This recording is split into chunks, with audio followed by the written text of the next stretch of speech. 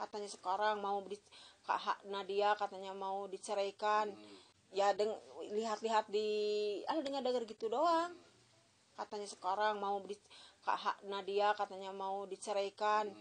Karena lagi hamil kenapa katanya ibu itu mungkin karma atau apa? Aduh jangan sampai disamarukan sama karma atau gimana. Takdir saya takdir saya takdir anak takdir anak gitu aja. Jangan sampai disatuin. Semoga aja dia rumah tangganya langgeng ke depannya. Terus terus juga jangan ngambil pintas asal apa ya seolah-olah diadu domba begini gini begini. Jadi dengarnya kan juga risi jadi kita mah ke Iki mohon maaf ambil jalan pintasnya ambil jalan lembutnya pikirin demi masa depan apalagi sekarang lagi mengandung gitu. Kalau emang iya jangan sampai dengar omongan orang lain lah. Lurus aja dak dia nikahnya kemauan sendiri. Nggak ada batasan dari ini dari itu dari itu. Bahkan ibu mah nggak tahu apa-apa justru. Gitu. Makanya sekarang karena mungkin netizen banyak karena ibunya orang-orang gini ibu selesaikan masalah ini begini. Ya saya mah nggak apa-apa bukan ngajak ribut. Maunya juga minta per, tanggung jawab Tina dia kenapa? Gitu aja. Cobalah kalau buka suara mah mau ngaku ibu mau enggak. Bukan mau ngambil ibu mah cuma ada kata-kata ya. Gitu aja. Bahwa intinya ada ibumu yang masih ada gitu kan. Bukan kesannya seolah bahwa nggak ada bu ya. Saya kan sebenarnya ibu kan lebih berharap ibu dihargai sebagai ibu kandungnya. Iyalah. Dan waktu itu berharap di pernikahan ibu hadir hadir gitu ya. Walaupun gimana juga heeh.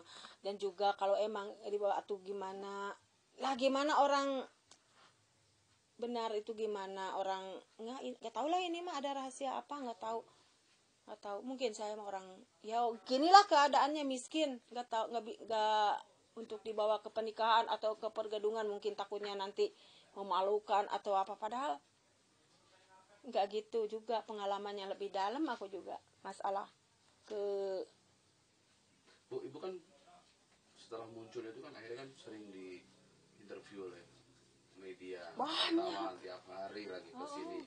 sebenarnya kalau dari ibu sendiri apa yang ibu harapkan dari apa eh, ketika ibu ngomong ke media itu? Sebenarnya apa sih yang diinginkan untuk agar mungkin diketahui oleh oleh mungkin Nadia dan Rizky atau apa? Sebenarnya apa sih yang ibu inginkan? Iya gitu aja.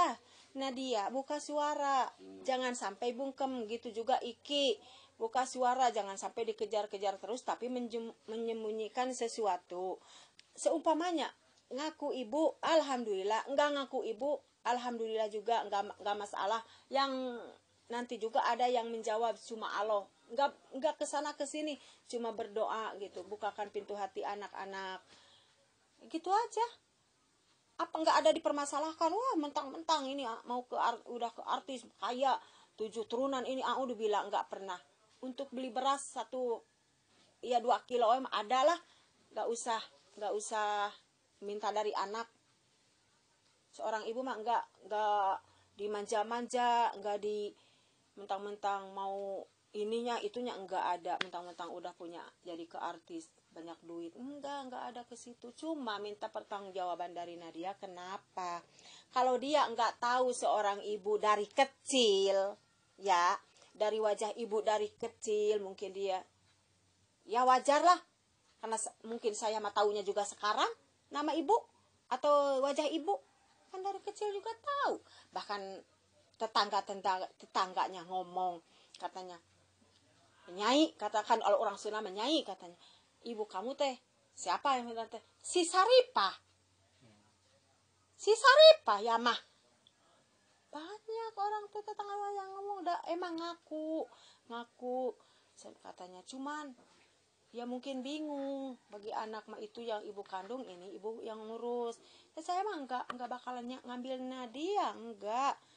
Cuma ingin ya dihargai lah. Sedangkan kita juga sama tetangga sama orang lain saling hargai saling sapa apalagi sama anak. Itu yang diharapin mah.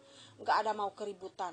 Seperti keributan memecah belahkan seorang anak atau seorang eh, bagi keluarga yang di sana yang di sini. Enggak enggak ada jangan sampai salah paham pokoknya gitu aja tapi semenjak ibu ngomong ke media mungkin ada reaksi nggak dari pihak mungkin ibu angkatnya Nadia sendiri nggak Iya kan. hubungin ibu nggak Enggak pernah, tapi dia juga kan eh, waktu kemarin tuh di di panti diwawancarai ya. Ibu angkatnya katanya lagi sakit. Terus di wawancarainya cuman menantunya kan? Ada juga kan di Facebook. Sama lihat di Facebook eh, bukan di Facebook di YouTube.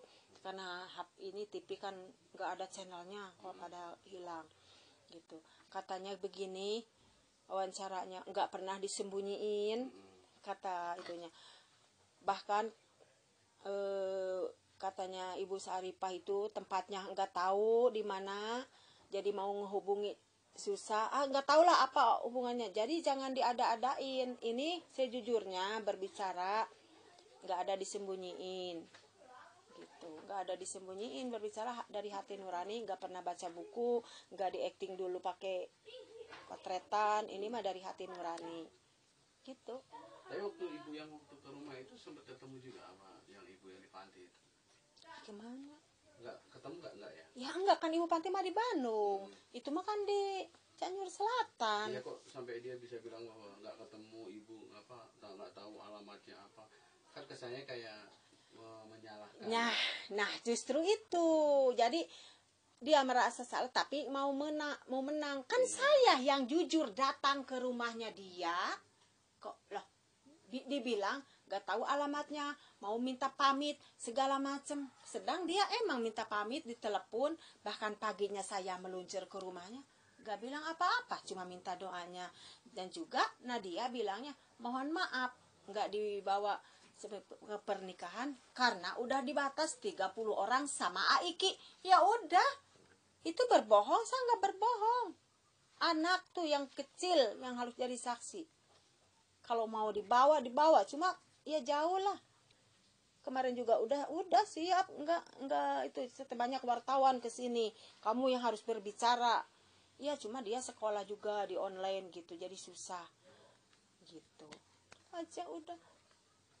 jadi intinya ibu adalah em, Nadia mau mengakui ibu bahwa ibu adalah ibu kandungnya terus eh, nggak usah lah apa istilahnya akhirnya diem aja ditanya wartawan ya kan Iya, malah kabur-kabur. Ikinya. Kemarin kan Egi juga ke sini ya di tren 7 kita gitu. Insert Trans TV Trans TV ya Oh, heeh. sini juga katanya dikejar-kejar, ikinya juga malah jemuran mah banyak katanya ada, cuma orangnya nggak ada. Aku juga pusing katanya kayak gitu. oh iya, pasti saya pusing. Aku juga pusing wawancara terus. Apalagi kemarin malam malam kemarin ada apa ya? eh, anu gitu, Ano, Ano, Ano tahu? oh cowok Ya cowok. pakai kacamata Iya. oh Ah, udah Malam. dua kali ke sini. aku sering kesel marah teh. Ya jam 7 lah, belum sholat belum apa. Tiba-tiba kan lagi di belakang lagi ya jenuh